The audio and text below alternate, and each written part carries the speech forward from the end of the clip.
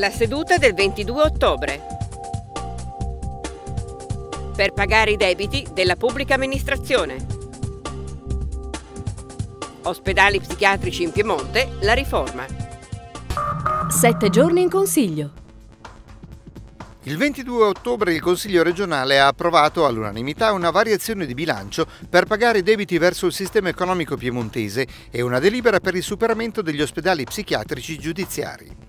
All'unanimità ha poi approvato un ordine del giorno che chiede al Parlamento nazionale di consentire la detrazione dalla dichiarazione dei redditi delle spese sostenute dai malati di Alzheimer e dalle loro famiglie. In una pausa dei lavori l'ufficio di presidenza, consiglieri e assessori hanno ricevuto una delegazione sindacale del Politecnico di Torino che chiede la modifica delle norme nazionali che impediscono al Politecnico di assumere i precari. Nel pomeriggio l'Assemblea ha ampiamente dibattuto su numerosi documenti poi ritirati sulla crisi internazionale in Siria. In chiusura di seduta ha poi respinto la proposta di modifica dello Statuto della Regione che mirava a rendere pubbliche le sedute delle commissioni consiliari. In primo piano. Nella seduta del 22 ottobre il Consiglio regionale ha approvato all'unanimità il disegno di legge di variazione di bilancio 2013 e pluriennale 2013-2015 per pagare i debiti della pubblica amministrazione. Relatore Luca Pedrale PDL. La procedura prevista dal provvedimento per erogare le anticipazioni delle somme previste, ha riferito l'assessore Gilberto Pichetto, dovrebbe chiudersi entro novembre. Il provvedimento di oggi lo ritengo molto importante, un'iniezione di liquidità per circa un miliardo e 200 milioni sul Piemonte è un fatto importantissimo. Questo vuole dire che verranno pagate delle aziende per circa un miliardo e 200 milioni. Questo significa salvaguardare l'occupazione e magari anche provare a iniziare a rilanciarla.